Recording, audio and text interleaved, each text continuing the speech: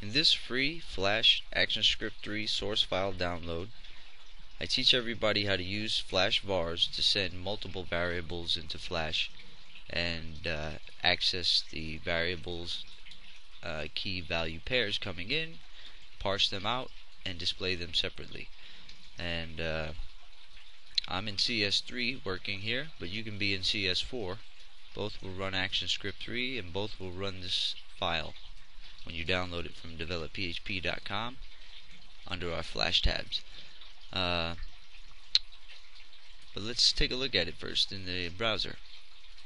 And here it is on the page develop.php and you'll see that I have item ID value is 438 and item code value is a bunch of jumbled letters that I just put on the page and I'll show you that page right now here and this is the the structure of the zip file that you're going to download.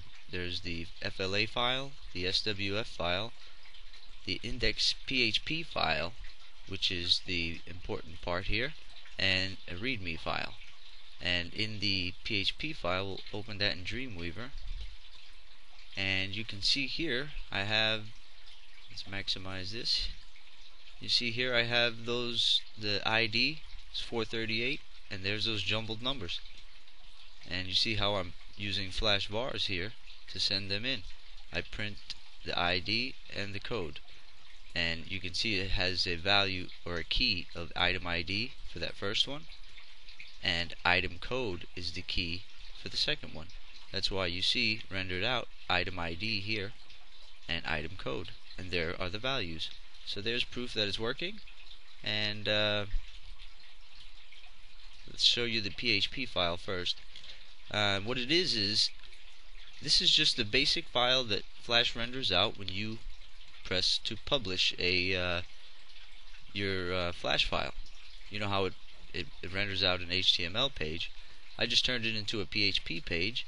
I put this little PHP block of code on top to put up two variables and yours would be dynamically rendered variables but mine are static just for testing and the creation of this tutorial but yours can be database rendered variables or date variables, numbers that you gather from statistics or whatever you want. You send it into Flash. And so the first step is to put it into the ACFL run content code, the JavaScript code, Flash vars, and it goes under the source uh, attribute there.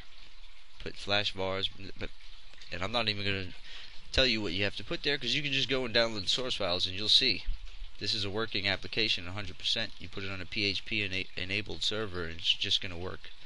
And here we have to put it into the object code, the object tags. We put a parameter for flash vars there and also we put it into the embed tag. Flash vars goes right after the source attribute. See, flash vars, print. We print both variables in and flash parses them out nicely and we'll take a quick look at the code here if you need any help with this code, join our forums at Develop PHP and we'll discuss it. We'll start a conversation about it, expand upon it, change it up if you need it changed up, whatever you want. But uh, first we claim the offset value because each text field you'll see can't be sitting on top of each other. So we render it out in the loop, we have to offset each one so it has spacing. And they're not sitting on top of each other when rendered out. And then we claim the key string variable as a string for flash and then we claim the value string variable as a string as well. And the param object is created uh, and it loads in the root parameters coming in from flash vars. The parameters from flash vars are coming into the root level of this document this flash document and that's how we access them with the param object here.